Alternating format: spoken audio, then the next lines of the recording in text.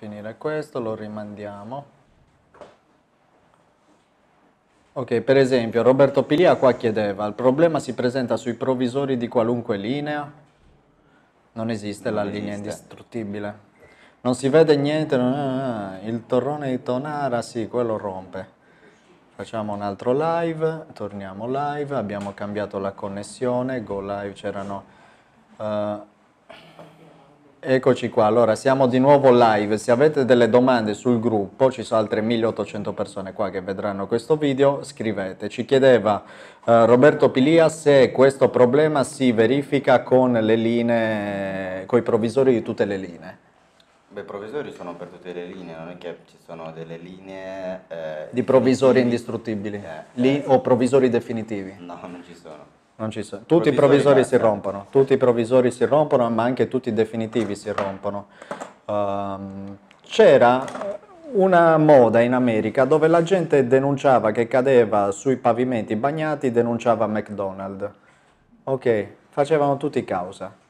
Il problema non è chi aveva lavato, eccetera, il problema è che se bagnato lo vedi, non ci passi.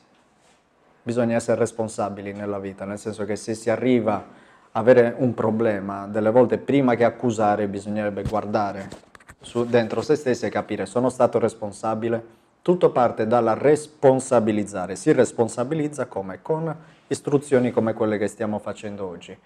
Ci sono dei cibi che quindi non potrete mangiare, ci sono delle cose che non potrete fare come strappare, ci sono delle cose che, non- che dovrete invece fare. Cosa bisogna fare con i denti artificiali in bocca tutti i giorni?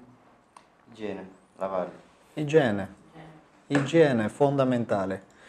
Ehm, quando noi togliamo le protesi e ve ne ho portate un paio disinfettate, ok, me le avete riportate tutte, ci possono arrivare delle protesi che sono in queste condizioni. Puoi inquadrare, Iana, ok, sono disinfettate tanto, però non l'ho tolto quello volutamente perché voglio che, che voi capiate cosa, cosa si può formare, ok?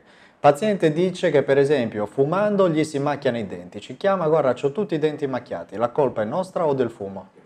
Del fumo, non ci fumi con le protesi. Ok, il paziente ci chiama e ci dice che c'ha, eh, che ne so, un, un impianto in perimplantite. Noi togliamo l'impianto e vediamo che tutto attorno c'è attaccato tartaro.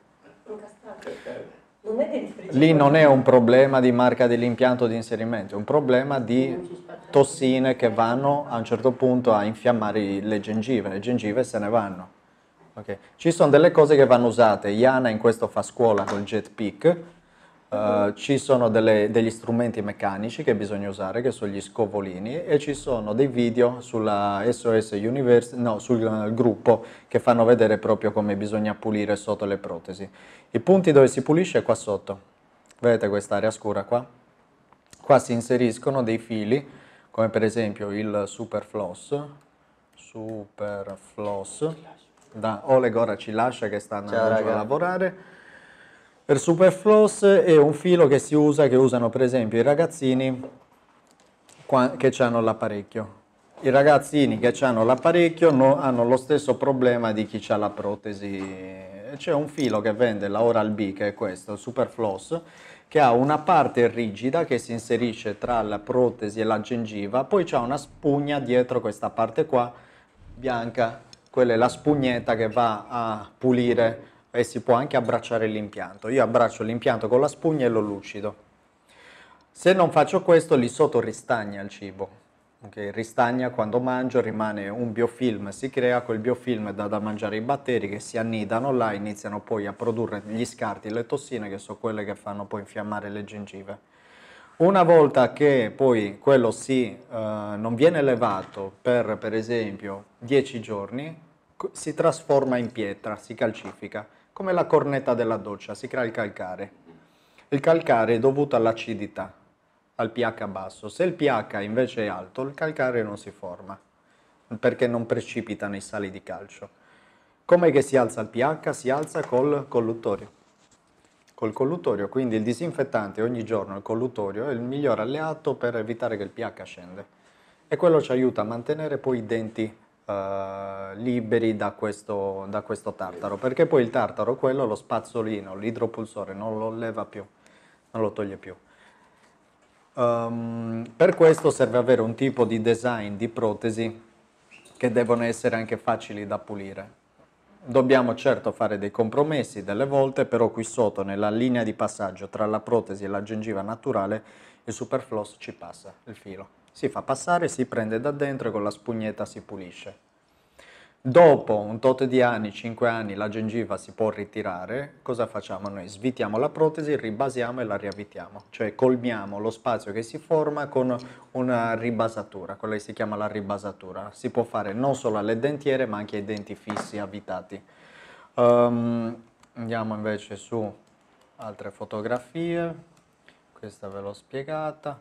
Questi non sono problemi invece, se doveste avere per esempio qua è la gengiva che si è ritirata e ha scoperto la parte metallica della capsula. Ok, questo non è un problema. Questa è semplicemente una porzione della capsula che prima non si vedeva che la gengiva era su.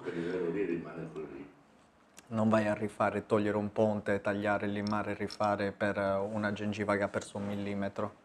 Bisogna proporzionare l'intervento con quello che è il problema. Questo sì, sono capsule queste da togliere e da rifare se il paziente rompe lo zirconio, a quel punto gli mettiamo metallo ceramica. Se rompe anche il metallo ceramica, mettiamo un metallo. Metallo non lo spacchi. Ci sono le battute in metallo anche. Uh, denti con battute in metallo si, uh, si fanno, è come se si fanno, ve li faccio vedere. Denti, battute, metallo, vediamo. Uh,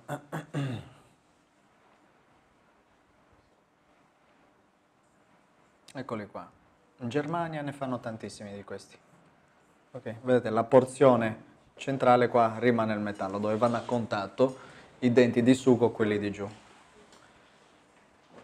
Vediamo se ne trovo degli altri, magari a risoluzione maggiore.